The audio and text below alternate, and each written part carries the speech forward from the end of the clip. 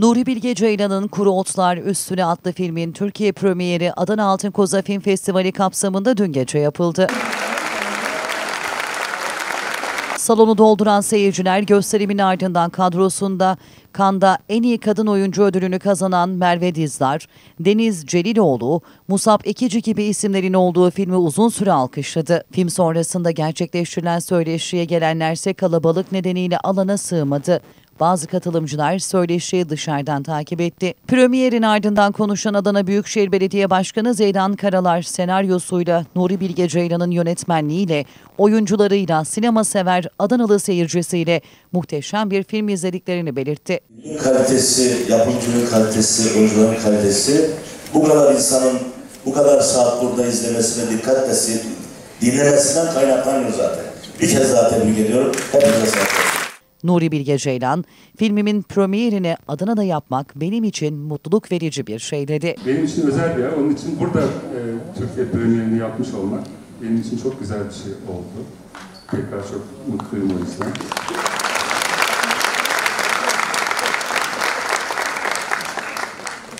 E, aslında tesadüflerle oluyor her şey. E, Akın e, şey e, Ahlat Ağacı'ndan sonra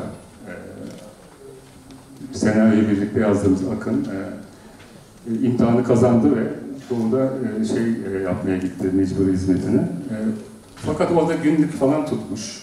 Bir takım notlar almış. Onları bana vermişti, okumuştum. Aslında film yapmayı asla düşünmedim başlangıçta. E, fakat bir süre sonra e, nedense biz bir şekilde öyle bir denesem mi acaba gibi bir duygu geldi. Yani çok bir ateş yoktu içimizde. Öyle ufak ufak çalışmaya başladık Ebru, Akın ben. Ama herhalde yapmam diyordum yani. Ama sonra yani fikir fikre ekleniyor, bir şeyler oluyor, bir şeyler oluyor filan. Gelişti gitti. Hatta yazdığımız en uzun senaryo oldu. Ee, Kış Uykusu 163 sayfaydı. Bu 250 sayfayı falan buldu. Ee, yani kurguda ben de senaryo atmayı çok sevmiyorum. Öyle bir şeyim var. Yani belki de en büyük özgürlüğüm bu. Yönetmen olarak bu büyük bir özgürlük. Çünkü e, her şeyi çekmek demek senaryodaki büyük bir masraf. E, ben başka taraflardan kısıp her şeyi çekmeye karar verdim. Ve o kadar çok şey çektik ki, her şeyi çektik o senaryodaki ve tabii ki 5 saatlik falan bir malzeme çıktı. Tabii her şeyi beğenmiyorsunuz çektiğiniz. Onları atmak için zaten teşne oluyorsunuz.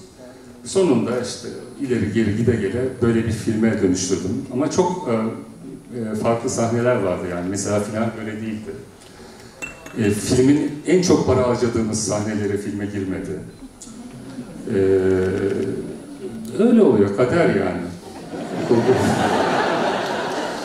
Galiba çok kalabalık sahneleri de sevmiyorum. Öyle bir şeyim de var. Daha böyle oda müziği kıvamında, daha intim şeyler daha çok hoşuma gidiyor da olabilir.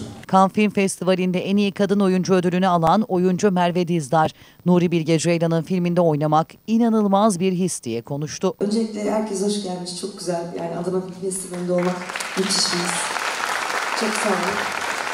Ee, burada hep beraber ikinciye izliyoruz filmi. Yani e, en başa dönecek olacak.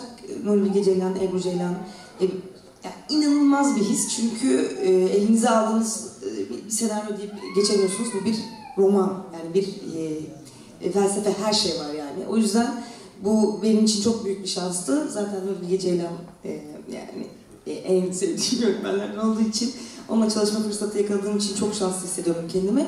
Ama e, şu an burada yani bütün kast olarak da söylüyorum. Yani bu filmin içinde herhangi bir yerinde olmak bile benim için çok önemli. Çünkü anlattığı şey e, bütün hikayeleri e, her yere, herkese dokunuyor. O yüzden biraz heyecanlıyım, çok mutluyum yani.